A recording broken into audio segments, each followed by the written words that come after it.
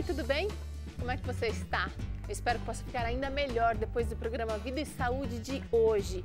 O assunto de hoje é queimaduras, cuidados e também recuperação. Talvez você não esteja precisando disso agora, mas nunca se sabe se você vai precisar no futuro, então é bom aprender junto com a gente. Antes eu quero convidar você para refletir sobre um trecho da Bíblia que está lá em Jeremias, no capítulo 7, versículo 23, que diz assim: Obedeçam-me e eu serei o seu Deus. Vocês serão o meu povo, vocês andarão em todo o caminho que eu ordenar para que tudo vá bem a vocês. É uma promessa de Deus e que Ele seja realmente Deus em sua vida. A gente vai falar sobre queimaduras hoje e vai ter um suco muito interessante para você aprender aqui junto comigo, que é hidratação total. Olha só o que você vai precisar para essa, essa delícia de receita. Uma melancia, na verdade você não vai precisar dela inteira cortada, mas um pouquinho de melancia cortada, de preferência sem semente. Você vai usar também capim cidreira, a gente está usando mais ou menos duas colheres aqui. Vamos usar uma colher de sopa de linhaça triturada, uma colher de sopa de germe de trigo, água de coco e mel para adoçar. Isso aqui é opcional, claro que você pode ou não usar. A nossa água de coco já já a gente traz aqui. Antes eu quero apresentar para vocês nossas convidadas. Ah, temos aqui a Vivian Zorzin, que é enfermeira lá no NASP. Não é enfermeira, ah, ah, não, é, atua como enfermeira no NASP, mas é coordenadora do curso de enfermagem. Obrigada pela participação, viu, Vivian? E temos também a Paula Montanha, que é fisioterapeuta, atua também ah, em programas relacionados a campanhas para mulher, para os homens, lá no IASP ah, ou o NASP Campus 3, lá em Hortolândia. Obrigada pela participação, Paula. Ah, vamos fazer o suco? Vamos para cá? Quero pedir, Paula, se alcança o suco aí, água de coco para a gente aí na geladeira. E vem para cá, Vivian, que a gente vai fazer esse suco de hidratação total. É um suco muito simples que vai levar uma erva que normalmente se usa para fazer chá. Mas hoje a gente vai colocá-la no suco. E vamos ver o que vai dar desse suco hidratação total. Bem inusitado. Melancia, capim, cidreira. Vocês gostam de ir para a cozinha? Sabia? Eu gosto de fazer suco também. Gosta de fazer gosto suco? de inventar sucos assim. Eu não sou muito de preparar suco em casa, mas eu tenho descoberto umas receitas interessantes aqui, viu? Eu testo vários, vários suquinhos, assim, com abacate, couve, linhaça. E os meninos tomam? Toma, minha filha é bem natureba. que então bom, ela ama. Que bom que ela te acompanha. E o pequeno também, o do meio que fala, ah, mais Ah, mas ele, ele vendo todo mundo usando assim, ele um dia vai, ou não, vai, Vivian, ou vai. ou vai ou vai. Tá, então a gente vai usar aqui melancia, que também é conhecida porque ela é, é conhecida em, em ser uma poderosa hidrata, hidratadora, Uhum. porque ela tem 95% dela é água. Água e fibra. Água e fibra. Olha só, a gente vai colocar E recentemente descobriram que ela também tem vitamina C. E faz proteção tumoral para é, tumores. Verdade, a gente estava conversando sobre Foi isso. Você ela falou que ela é o salsão. poderosa. Salsão ainda é mais que ela, campeão para destruir células tumorais cancerosas já formadas. Isso é uau! É poder da né? natureza mesmo. Então, salsão e melancia, né? A gente está usando ainda dois alimentos poderosíssimos aqui, que é a linhaça, que é anti-inflamatória, rica em ômega 3, em ômega 6, e o germe de trigo, que é rico em vitamina E, que muito vendido, comercializado para quê? Para pele. Uhum. Vamos falar Até sobre para cremes, né? Até Cremes pra de cremes. Cabelo, hidratação. adoço ou não adoço? O que, que vocês acham? Melancia é bem glicêmica, né? Acho que não precisa. Não precisa, então vamos Ela é- tirar. Vivian, concorda? Concordo. Ela é bem doce. Por livre e espontânea pressão, ela concorda. Pensar. Paula foi mais rápida.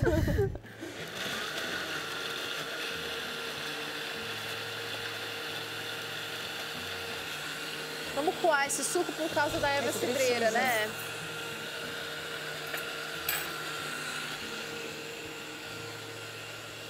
Já vamos tá colocar nossos lindo. suquinhos aqui.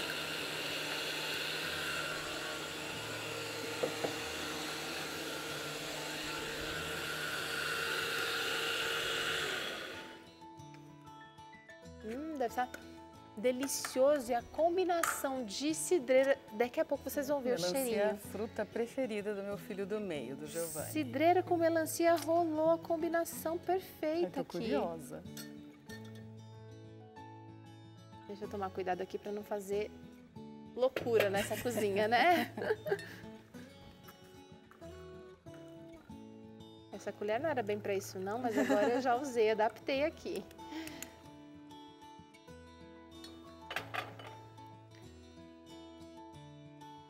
Você que está chegando agora, não esquece de acessar o nosso blog para conferir essa receita na íntegra. É muito simples e é claro que é adaptável.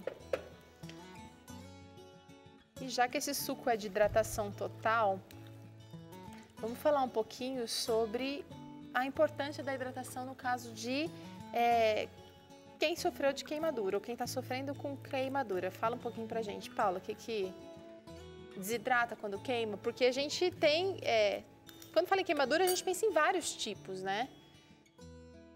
E eu pensei agora na queimadura pelo sol, por exemplo, que dá uma, uma bela de uma desidratada. Exatamente. A gente pode até dizer esse suco aqui vai hidratar e acalmar, né? A ação da erva também. Realmente, você desidrata e você viu que eh, faz a bolha quando queima? Aquela Sim. bolha é um fator de proteção, porque ele vai ajudar a resfriar a área, né? Então, a bolha, ela não deve ser é, é, Estourada. estourada, ela vai ter que ser reabsorvida, ele é um fator de proteção. Então, tanto que um dos cuidados quando ocorre uma queimadura, seja com a panela, é, com algum produto, o interessante é usar água corrente, só água, nada de pasta de dente, esse, esse mito popular, né? De borra de café, para você parar é, é, é, o tecido de continuar queimando, né? Evitar aquela queimadura. E lembrando que o gelo também queima, Teru. O gelo também, não é só o calor. Tanto é que na fisioterapia tem uma técnica que se chama crioterapia, que você já utiliza em situações crônicas o gelo para o alívio da dor. Então você não se coloca o gelo direto na pele do paciente, porque é sim provoca uma queimadura. Pode queimar. Pode queimar. Ó, vou convidar vocês pra gente sentar ali na mesa. O suco sem adoçar, né? Vamos ver se ficou bom. Se, se a melancia docinha. docinha, É. não vai ter problema, né? E aí agora a gente vai conversar então sobre queimaduras. Eu acho que nada mais interessante a gente começar a nossa conversa do que tentando entender os tipos de queimadura, Vivian. Verdade. Teru, a queimadura ela pode ser, como a Paula estava falando, queimadura de sol, queimadura, fogo, a- ácido. delícia. Ah, vou experimentar daqui a pouco. A radiação. Por química também. Química, Produto el- químico. é, queimadura elétrica. Tem vários tipos de queimadura. E Gelo. Até com produto de cabelo, viu? Produto de cabelo tem histórias bem tristes exato. sobre queimadura. Mas nós fazemos uma classificação em queimadura de primeiro, segundo e terceiro grau. Primeiro grau é aquela superficial, que a pele fica vermelha, dói, arde bastante. Segundo grau é quando forma bolha. Hum, E terceiro grau é quando o comprometimento já queima a pele, terminações nervosas, invade musculatura, e algumas até para enxergar osso Então é uma queimadura mais profunda bem mais terceiro grau. profunda. Ela dói menos, porque já não tem mais terminação nervosa, não vai ficar doendo, latejando o tempo todo, mas ela tem complicações muito severas, muito graves. É, pra gente é uma das piores. Quem sofre a lesão, a queimadura, não vai poder identificar que tipo de queimadura é. A, a- a de terceiro grau não vai sentir dor, tanta dor de repente. Mas a de primeiro e segundo grau vai gerar muita dor? A, de primeiro grau, principalmente, é uma das mais dolorosas. A segunda dói também, só que a, a bolha. Uma das terapias é ter que estourar a bolha, mas só pode ser em hospital, com acompanhamento médico. Nós não vamos remover a pele a princípio. E o risco de infecção é muito grande também. Então, tudo muito bem cuidado. Mas a de primeiro grau, aquela que a gente tem na praia, porque não usou protetor solar. A panela. Na, panela, no ferro de passar, no forno. Essa ela é bem dolorosa, bem, porque ela é superficial. O tratamento é mais fácil, mas na hora é aquela que dói bastante. Gera uma inflamação aguda, né, ali. E a de terceiro grau ele vai visualizar porque sempre vai ter a laceração de tecido. É claro que né? ela dói também no momento É. que ela acontece, mas é, Mas é depois- diferente, a extensão é grande, é Exato. profunda. E cuidar que sempre com a terceiro grau, geralmente adere, né, o tecido, a roupa, dependendo, adere ali na pele. Nunca tirar. Né, você levar para o cuidado especializado, senão você vai provocar ainda mais lesão na área que já está queimada com processo inflamatório. Bom, já que você tocou nesse assunto, a gente precisa entender o que fazer no caso, primeiro socorro ali de uma queimadura. Aconteceu um acidente. A gente está falando de primeiro, segundo e terceiro grau. E na hora que aconteceu o acidente, talvez a gente não vai conseguir identificar. Para esses três graus, existe o primeiro socorro igual, é genérico? O primeiro socorro nosso é água corrente. Ah. Água corrente e de preferência fria. Não aplique gelo, ah. água corrente mesmo. Se for superficial, a gente consegue identificar que é superficial. O ideal é tirar as roupas. Tá. Pode usar tesoura, cortar e retirar. Porque relógio, a, anel. É, relógio, anel. Porque após a queimadura tem uma reação inflamatória que a pessoa tem um edema, um edema incha. Né? Então a roupa vai estrangular, vai apertar, vai ser pior. A de terceiro grau, se a queimadura foi sobre a roupa ou sobre um plástico, sobre o relógio, vai grudar, vai aderir. Não tente tirar.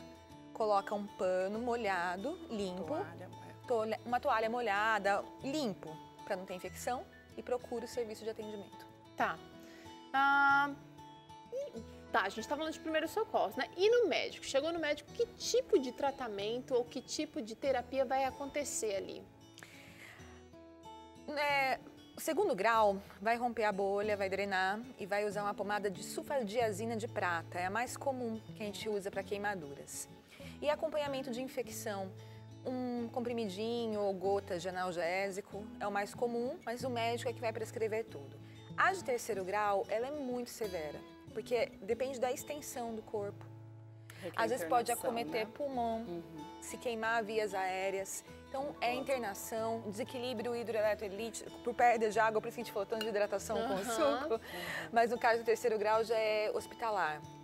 E dependendo do tamanho da área, para recuperar precisa fazer enxerto, por exemplo. Tem enxerto homólogo da própria pessoa, tem outros que são sintéticos. Então é uma internação longa em hospitais especializados, é um outro nível de atenção. De atendimento. É. Um controle de infecção mais rigoroso, né?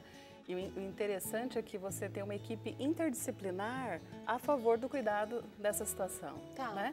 E a fisioterapia se desenvolveu uma área específica para é o cuidado de queimados. Lá em Salvador existe no, no HGE uma ala só para fisioterapia de queimados, nesse a nível hospitalar, porque ele tem uma grande extensão e lá é, na Bahia você tem a festa em Cruz das Almas, então onde tem dos fogos é muito comum acontecer de, de, espadas, que é, é, algo folclórico típico do local, que ocorre queimaduras severas. Então, por conta disso, tanto que eu não conhecia, né, essa de São Paulo, essa especialidade. Então, fisioterapia para queimados, para evitar Mas o que, que o fisioterapeuta vai fazer nesse caso, então, Paula? no passado, ele só ia cuidar do, do paciente depois da alta. Hum. Lá, agora, já não. Ele já, desde a fase aguda, ele tem técnicas específicas de massagem, de manipulação, para ajudar no processo de cicatrização. Então, de alinhar a cicatriz para você ter uma deformidade estética, um comprometimento estético reduzido.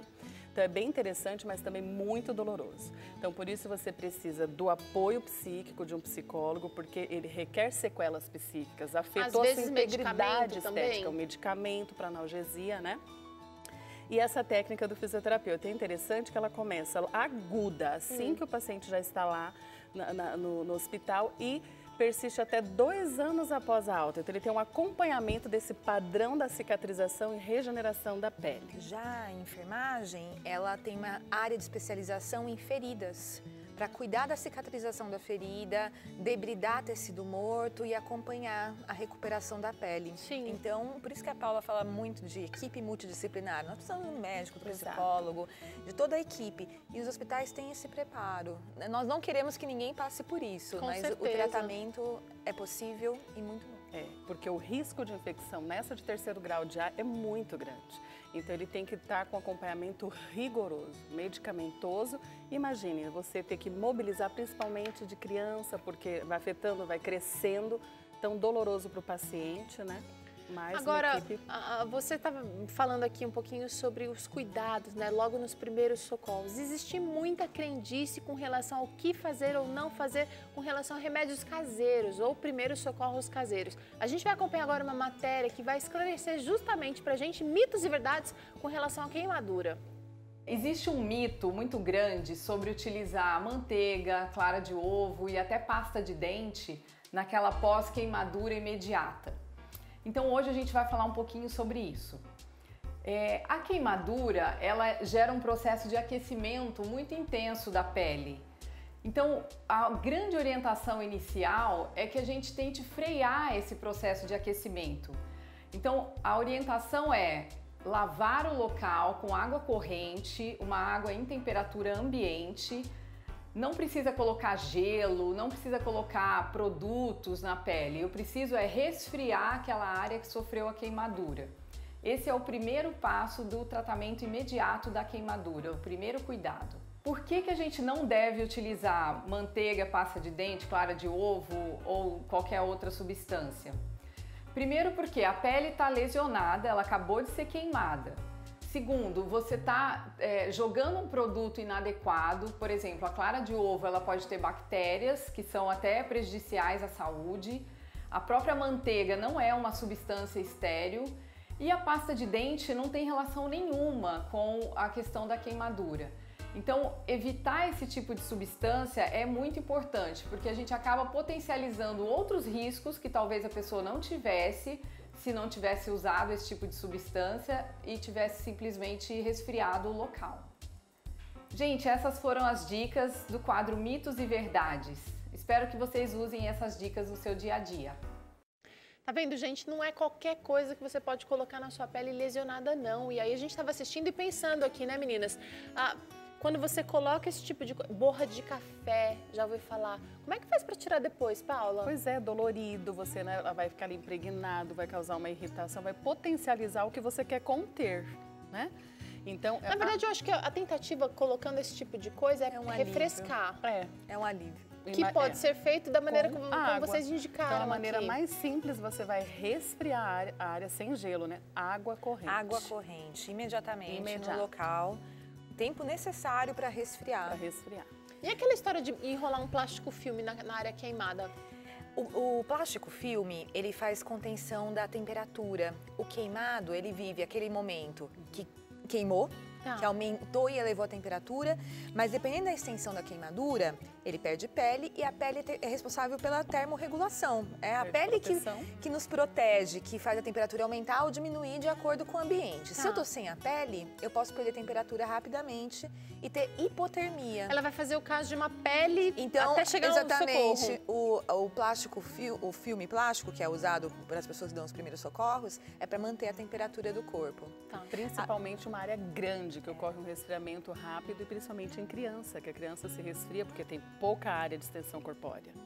Até nos socorros que nós vemos especializados, tem um tipo de uma manta térmica, que é como se fosse um papel alumínio, sim, a impressão. Sim. Ela também é para manter calor. Tem essa pra função. segurar. É essa é a ideia. Agora, tem algumas queimaduras que a gente realmente acaba nem indo para o hospital, nem indo para o primeiro pro, pro socorro uh, uh, profissional. O que dá para fazer em casa, então? Só lavar, isolar a área, evitar atrito, o que mais? Só isso? Basicamente? Basicamente é isso. É sempre manter a área exposta e limpa. Exposta e limpa. Aí depois Se de um tempo ela vai levantar a bolha. Não, na primeiro grau não vai levantar a bolha, vai ficar só a marca, então evitar tomar sol nessa região, usar protetor solar para não ficar. Não é cicatriz, seria uma mancha mesmo. Uhum é, demora para sair.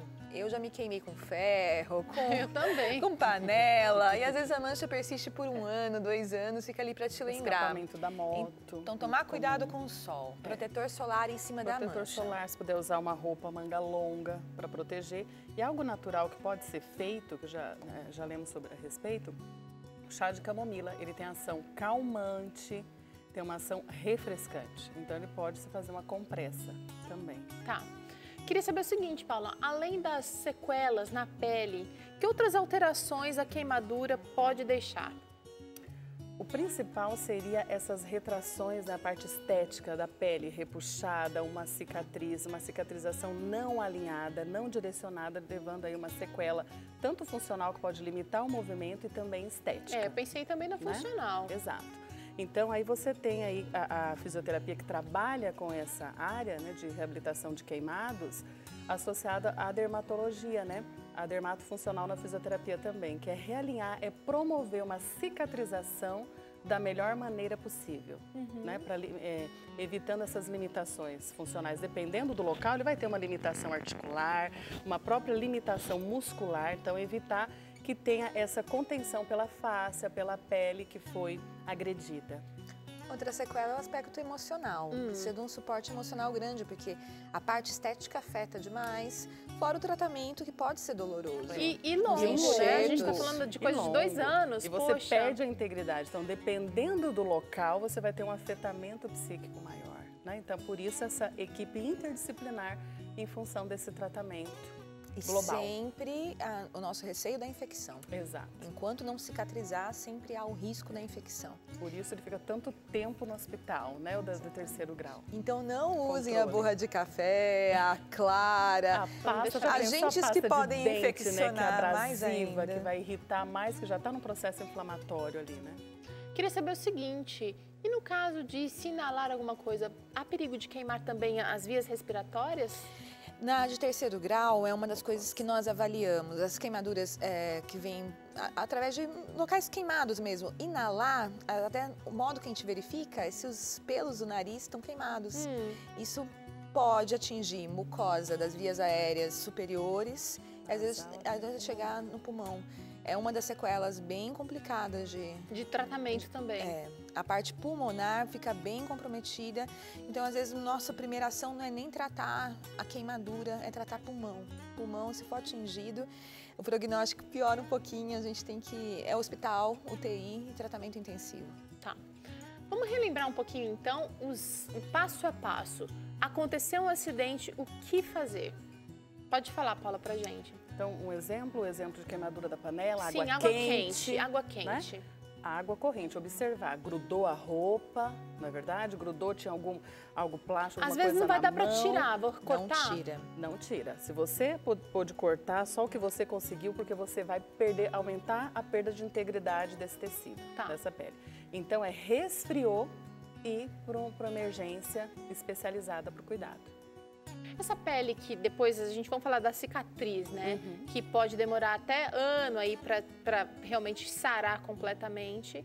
É, essa cicatriz, para renovar ou para, uh, eh, de repente, restaurar a pele, só com é, cirurgia plástica ou tem algum outro recurso? Tem as técnicas de enfermagem na fisioterapia, de debridade, limpeza, então tem todo de manobras, tem massagens específicas mesmo para esse tecido, para favorecer a cicatrização. Naturalmente, se, se for um, a, uma lesão pequena, a cicatrização é espontânea, a pele se renova uhum. num processo longo. Uhum. Dependendo do tamanho da lesão, são os enxertos que nós é, temos que fazer mesmo. E o enxerto faz esse processo também de renovação. É, ele é feito quando a área é maior, daí precisa do enxerto mesmo, mas o corpo está pronto para se renovar, sempre procurando prevenir infecção. Essa é a ideia. Agora, eu acho que a gente... Pode falar, Vivian. Não, eu só queria... É, falando que, dependendo da área, né, nós temos um índice de mortalidade alto também. Então, toda atenção é pouca, pouca, é pouca. Épocas de queimada no interior, é, dentro de casa, as crianças, eu, elas então, são muito rápidas, um pouquinho né? sobre esses cuidados. abre cheira nessa né? do inalante que é tão grave, a criança quer explorar, quer observar, então é não deixar o acesso mesmo a produto Os cabos químico. de panela para fora do fogão. Exatamente. Água de banho, às vezes quente, acessível para criança também. Que outros cuidados a gente pode é, tomar para evitar esse problema? Eu já vi muito queimadura com ferro de passar. A criança ela é muito rápida, é. coisas que a gente não está no nosso nível de visão, às vezes está no nível da criança, né? Ela enxerga melhor e Tem rapidamente. Sim, e é, às vezes é um processo que a, o responsável se culpa muito. É um pouco temos que ter cuidado, o, observar. É, o grande perigo segurança. mesmo é a panela, né? Já pensou você virar uma panela de feijão, panela de sopa de água numa criança? Pensa, extensão ali, a roupa grudada, então é algo Prejuízo. desesperador. Outra né? coisa que vocês mencionaram aqui são os produtos e equipamentos ah, para o cabelo. Uhum. É muito comum, a gente vê muito vídeo na internet hoje de gente fazendo chapinha ou usando algum produto que realmente pega fogo no cabelo. Ou esses alisantes também, que realmente então, é queimadura por produto químico. por produto químico e perde uma grande extensão de cabelo, né? Eu estive num. Eu, trabalhando com voluntariado, eu estive num hospital que tinha uma ala de crianças em tratamento de queimadura. A maior parte é por água quente é, do fogão. Então, esse cuidado, vigilância na cozinha, especialmente. Com Utiliza portinha, as bocas de trás tem, do é, fogão. Isso, e também tem aquela portinha quando a criança é pequena, que você restringe o acesso dela direto ali. Né? Porque é, você está no momento de distração que a criança veio, puxou, pode se queimar sozinha, queimar a mãe, o cuidador e ela também. E resgatando isso sobre a queimadura do cabelo, por isso que não se automedica, a prescrição é com o médico, cada profissional de saúde com a sua esfera de atuação e o cabeleireiro também. Uhum. Então você é um processo químico que alguém teve que estudar para saber a dosagem, fazer o Tem teste. Que ter responsabilidade. Você não pode colocar. E olha só, o couro cabeludo é uma área muito nobre, porque ela está próximo da face, você tem um cérebro, cérebro, uma área muito vascularizada, muito inervada. Então, o prejuízo pode ser maior do que aquela falta de cabelo temporária, a né? A primeira ação, Teru, água, muita água. A água é um remédio para quase todos os problemas por dentro nossos, e por né? fora. Por dentro e por fora. muita água corrente, de preferência gelada, e não usar o gelo, porque o gelo pode agravar a lesão. Vai queimar queimadura por gelo, a gente também vai usar a água depois para resfriar, pra, ou para estabilizar a pra temperatura? Estabilizar, também. Sim, porque, porque a gente não tem o gelo só no formato sólido, de é. repente uma... Um... Uma bolsa de gelo você tem também. Gelo seco gelo... queima. Nossa, ainda é pior porque ele gruda, né? Quando puxa. É, o, nós usamos muito gelo para alguns tratamentos musculares, de inflamações. Confusão, então nós usamos, é, a gente não aplica diretamente, a bolsa é recoberta por uma toalha, por uma, uma fronha. prévia para essa é, e, e, o tempo, uhum. nós temos um tempo limite para manter aquela aplicação de gelo. Ou seja, Até é o profissional que está habilitado a fazer Exatamente. esse tipo de tratamento. Então às vezes você fala, ah, mas é tão simples, né, por exemplo, a fisioterapia, eu posso fazer em casa, só essa crioterapia eu vou pôr o gelo. Então a gente precisa, existe um tempo, uma dosagem, uma maneira correta de se usar a técnica. Tá certo, quero agradecer a participação da Paula e também da Vivian, ajudando a esclarecer aqui o que fazer no momento de acidente com queimadura e o que não fazer também, tá bom? Isso é Vida e Saúde, você que quer acessar nossas, eh, que quer receitas, que quer dicas de saúde, quer emagrecer com saúde, com vida, com vigor, acesse o nosso blog novotempo.com.br Vida e Saúde. A gente se despede aqui e até o próximo programa. Tchau!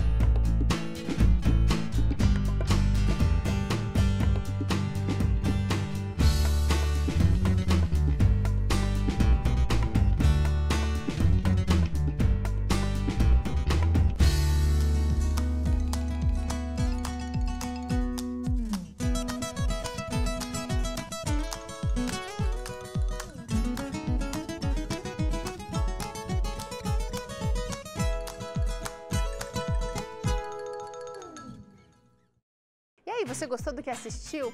Tem muito mais conteúdo exclusivo esperando por você.